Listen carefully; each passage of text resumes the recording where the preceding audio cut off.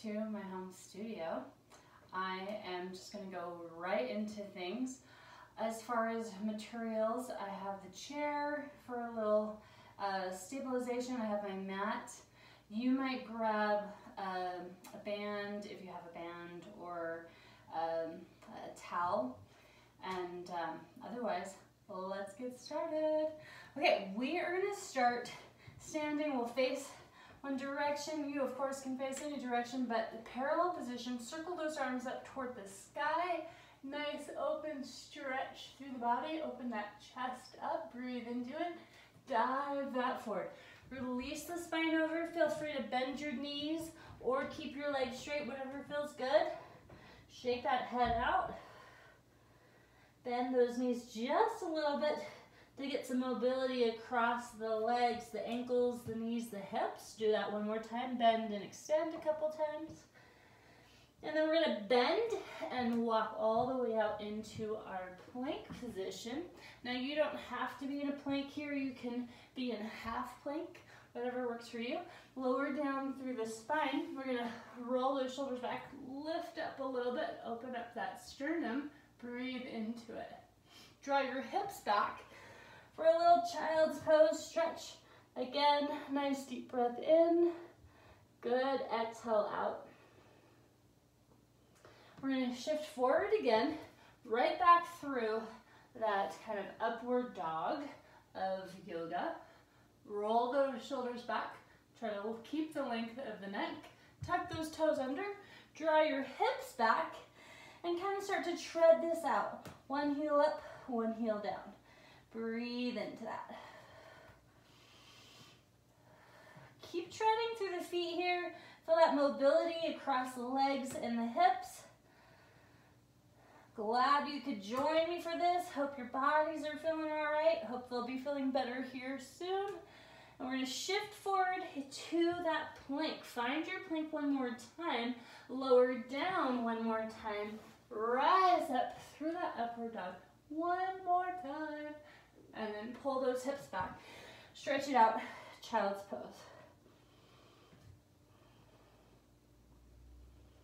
Okay, we're gonna come to an all fours position here, making sure the shoulders are right over the wrists, the hips are right over the knees.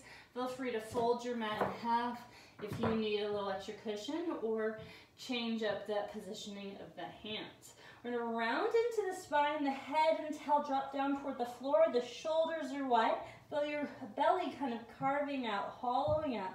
Breathe it in, and then lengthen through the spine, and extend the other direction. Slide the shoulders down, reach the top of the head and the tail, and then repeat that. You're rounding into that back, feeling the mobility through the spine here, breathing into the side and back body, and then slowly releasing out in through that extension. We're gonna do one more time, round through it, roll it up, stretch it out, shake it out, and then we'll come back to our neutral.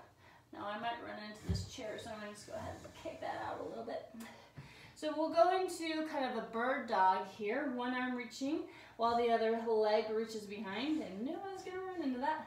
Hold that position, just starting to feel the abs really strong, sliding the shoulders down. Good, full breath in. We lower that down, extend the other side. One arm, one leg. Feel your core strong. Think of lengthening through the top of the head, through the fingertips, and through the toes. So you've got a line of energy going in both directions and lower down. We'll keep going one more time, just like this. Starting to establish some balance, some core connectivity, getting that stability through the body. Good. I am gonna stay with my right leg and my left arm only because I'm gonna swing to the side here and I'd be running into my wall and then return back. The arm and the leg are both gonna reach to the side and return back. Now you can go just a few inches and kind of wave back and forth, trying to keep your leg so it's though it's kind of sliding over a tabletop as you go. Play with your range. I'm gonna do just a few more here. We're going for eight to 10. So it doesn't matter how slow or fast you are.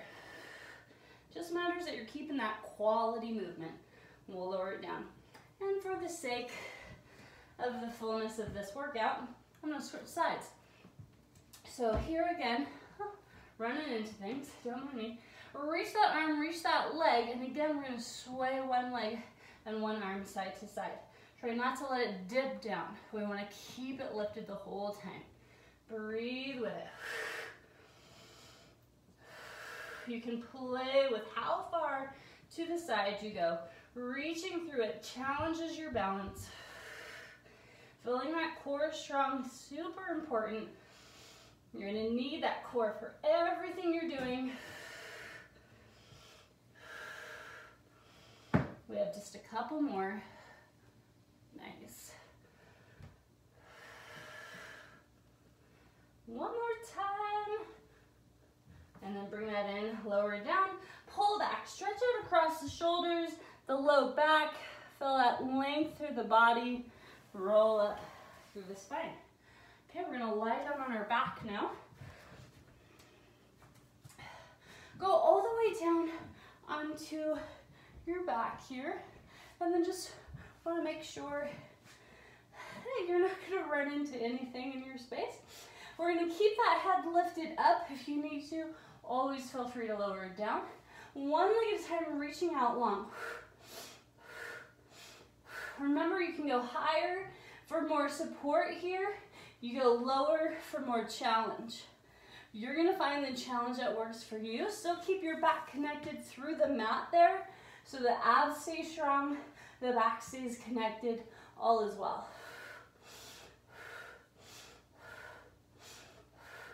The hands are sort of just there for a guide, really. You don't have to pull them in or anything. Just let those legs do the work. Now we're gonna bring our hands behind the head, add a little rotation.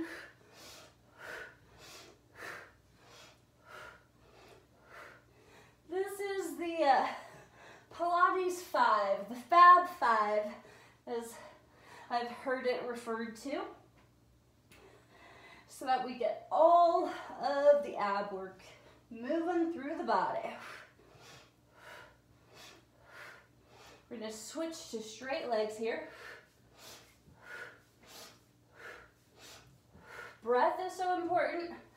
So, you know, forgive me if I'm not talking as much.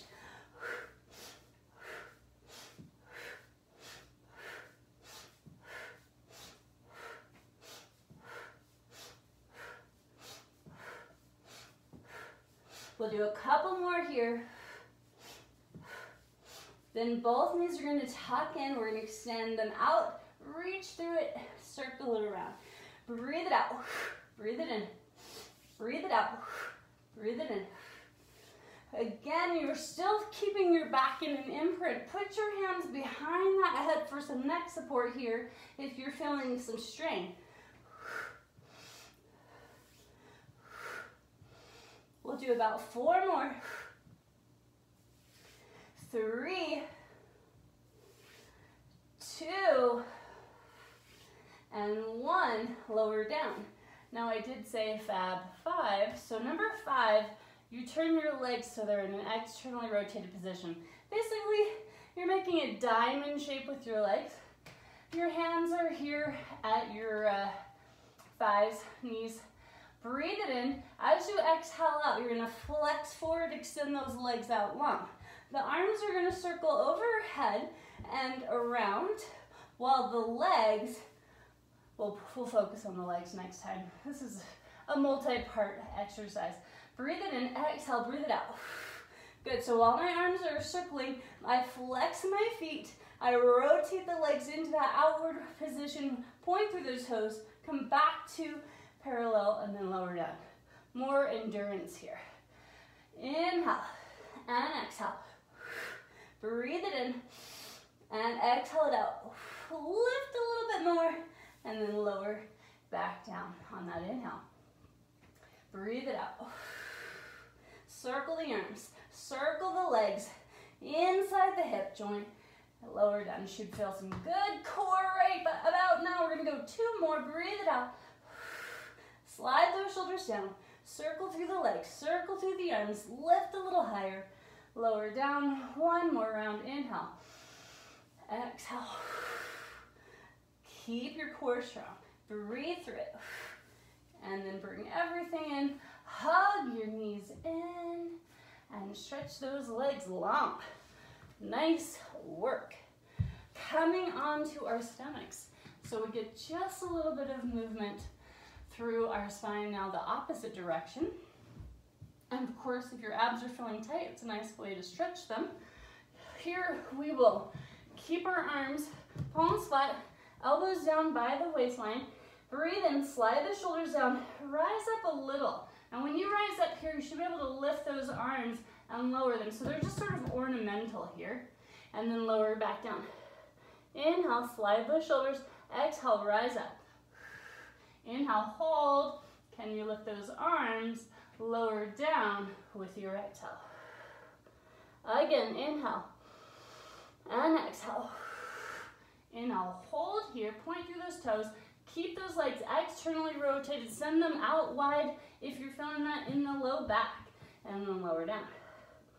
We're going to change this up a little bit.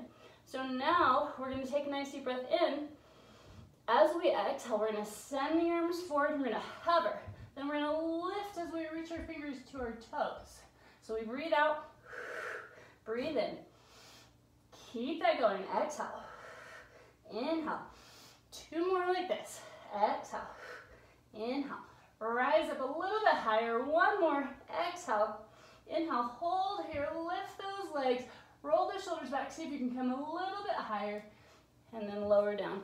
Pull back into that child's pose. Now, if you've got some low back tension, that might have been a little too much for you. You could go with the shorter range. You could keep your hands down and lift and lower the spine without putting as much pressure across your back. We're gonna roll up through the spine here and work a little bit on a side bend.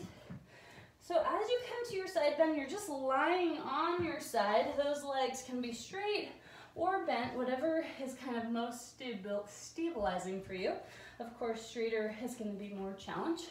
And you're gonna lie down. So now here you can take your hand and put it underneath your head for some neck support, or you can place it on the mat there, or the floor, because you might want it for this exercise. The hand, you want to make sure it's kind of in front of the chest area because you're going to press into that palm and you're to lift up. Now you can keep that hand down to give you a little assistance and then just slide that arm out as you lower and lift.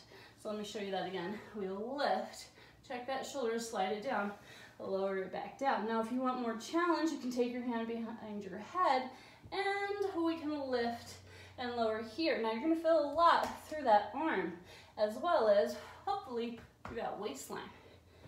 Good, now again, if that's like, hmm, I'd like a little bit more, you can keep your arms stretched out straight and then reach, reach, reach, reach, reach, and lower back down. So you've got lots of options here. Breathe it out. Breathe it in. We've done about six, so let's go for four more, your choice. And then again, if that's like uncomfortable for the hand, you can play around with different positionings through that palm or just kind of keep it small. And I think we have one more here. Sometimes I lose count, forgive me, and lower that down. Guess what? Other side. So we switch to the other side. So again, same thing, you get to choose that position. Pick your poison, as they like to say, right? Hand is there, we're gonna lift up, whoa. Now one side might be easier than the other side. Breathe it out. Breathe it in. You again can remember to put your hand down for a little extra support. Support your head and neck as well. I'm gonna say that's about four. Going for five. We have five more. Four more, breathe it out. Three more. I'm feeling this. Two. Good, last one. I should have also said that you could take that towel or t-shirt, whatever you brought, and put it underneath the hip there if you need a little extra cushioning. I always need a little extra cushioning. Uh, okay, let us continue. Come onto your back now. where We'll do a little bit of bridge work. Arms resting beside the body, making sure your neck is nice and long and supported here. No pressure in that neck and head area. And your knees are bent, feet are flat. Excuse me, hip distance apart. We're gonna peel the pelvis up to our bridge position. So trying to feel that length across the front of the hips here. And watch the knees that they don't drop out. We're gonna keep them pointing toward the sky. Shift that weight forward, so pull that weight into the feet a little bit more and lower back down. And then keep that going. Breathe it in, exhale it out. Good. We'll just lower and lift two or three times, getting some mobility through the spine, kind of preparing ourselves for all the goodness that's to come. And we're gonna rise and stay lifted. Now this time you get to lower down halfway and lift. Lower and lift, small pulse. Now as you lower, allow the knees to drop out and then pull that back together again. So lower and lift, but we've just added the knees. If that bugs the knees, just keep the lower and lift. Breathe it out. If you had a band, I know some people have bands at homes. At their homes, you could put a band around your thighs and just add a little bit more to the workout. Totally up to you. We're gonna do four more here. And three, and two. If this bugs the back, keep it a little bit lower and a little less intense. And that was a little, well, one, one to grow on, folks. Hug those knees in, stretch into your lower back. We're gonna send our legs up high here. Now, as you're in this position, uh, feel free to come to a tabletop if that's a little bit more supportive for the low back or the hip flexors. Sometimes they get a little tight. If you want your legs up, put a soft bend in the knees and that'll come out of the hip flexors. And then remember, hands can always come behind your head for some neck support. We are gonna go into our hundreds. So it looks like this and you can do any variation. Start pumping with your inhale and exhale. Good, in and out. You want a soft bend into the elbows. Breathe out. Try to keep that flexion forward. Breathe it out. Slide the shoulders down. Exhale. If you want more challenge, lower just a little bit. Breathe it out. If you need a little break, inhale, tuck it in. Exhale, extend it out. Three more sets. Exhale. Two. And one. Last one, breathe it in. And out. And everything comes in. And again, one nice stretch for the lower back. Roll yourselves up, my people. We're gonna do a standing leg series. So if you need to, you might move your mat. I'm gonna try to do it in this little space between my mat and my uh, wall here. Scoot that over just a little. And if you want, get that chair or something to kind of help stabilize you. Now, if you have a kind of a floor like I do, you might be able to slide your leg forward and back. Um, you might try putting a sock on, or you can put kind of that little towel, or if you have a glider, you can put that underneath your foot. So, we're gonna start, we lean slightly forward, we have a hinge in our hips. We're gonna take our leg back into a lunge, and then come all the way forward again. Lunge it out, and bring it forward. As you're going, watch that knee of the bending leg. We don't want it in front of the toes. We want to be able to wiggle our toes.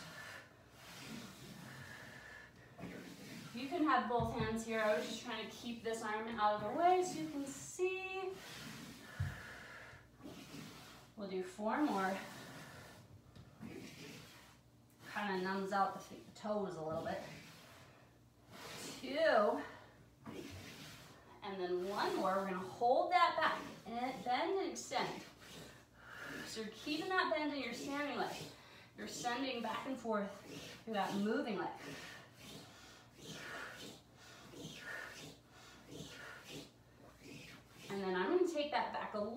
Come upright and pulse it out. I'm doing everything in counts of 10, so it's totally up to you how you want to proceed. Good, now you're gonna lift your forward heel, so both heels are lifted and pulse. Nine, eight, seven, six, five, four, three, two. We are not done yet. Shift that weight forward. We're gonna lift that leg up and pulse, and pulse, and pulse.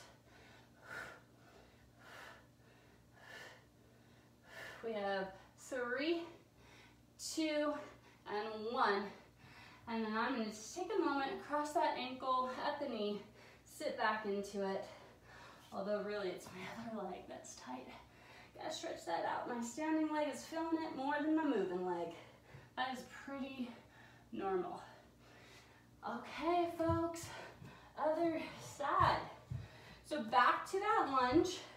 Our leg drawing back to the lunge. We're getting that stretch into the hip flexor and bringing it in. Breathe it out. And in. Get that full breath.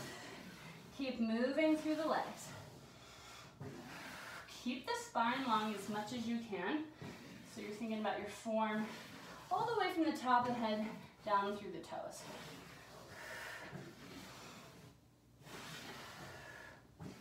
Good, we have three more. Two more. One more, we're gonna hold that. Bend and extend, try to stay deep in your standing leg. You can try to deepen that. Five, four, three, two. Keep that bend in your standing leg. Pull that leg in a little bit. Stand up tall, pulse it out. Ten, nine, eight, seven, six, five, four, three, two, one. Your forward heel lifts up, and again, ten, nine, eight, seven, six, five, four, three, two. Not done. Shift that weight forward. We lift it up, pulse it out. Ten, nine, eight, seven, six, five, four, three, two, and one. Stand it up, stretch it out, whichever leg, both legs, whatever feels good for you. I'm gonna come to a standing position on the mat. We're gonna do just a little bit of a squat. So you have a slight rotation through the legs. Make sure the knees are in alignment with the toes here. I'm gonna squat down and stretch those legs up. Now, as you're going here, make sure your spine stays long. Your butt does drop back, almost like you're gonna sit down into a chair. Keep that breath going. We have four more, three more, two, one more, and then we're gonna take this one down and stay there. Hold that position, pulse it out.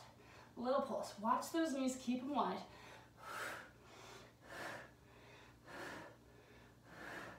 We have four, three, two, one. Stretch those legs straight. Ooh, shake it out. I have a little bit of uh, filling it, filling it through my legs is what I'm trying to say. We're gonna come to some side body work again. So your forearm is right beneath the shoulder. You can come from the knees and lift and lower, or you can go straight legs and lift and lower. So hand can be down as you lift here, or you can lift that arm up and over as you go. I'm gonna do the full arm, reaching as we go. Breathe out. Trying to get that arc through the body. One more like this. Now you can continue doing any variation here, or you can try to kind of tuck that arm in and then open it up little thread of the needle. We have three, two, and one more time. Woo! Lower that down. All right, did not bring my water, so note to self for next time. Keeping those legs either bent or straight, let's go to the other side. We reach through it. Now remember, you can keep your hand down if you need to. We'll do three more. Two. One more time. Now we're gonna stay here. Now if you'd like to, continue doing what you did or thread the needle. Four more. Three more. Two more. Last one. Good. And we lower everything down. Bring yourself back upright. Bend those knees. If it's comfortable for you to sit, just kind of in a, a loosely cross-legged position. Round in that spine. So you're gonna draw a chin toward the chest. Drop that weight forward. Release the spine and stretch it out. You can put a light pressure into the knees here to give them that little press down, but no bouncing. We want to avoid bouncing. It's not as good on our joints. And then we're gonna reach up and over, stretch it out to one side, long reach, long stretch. And up and over to the other side.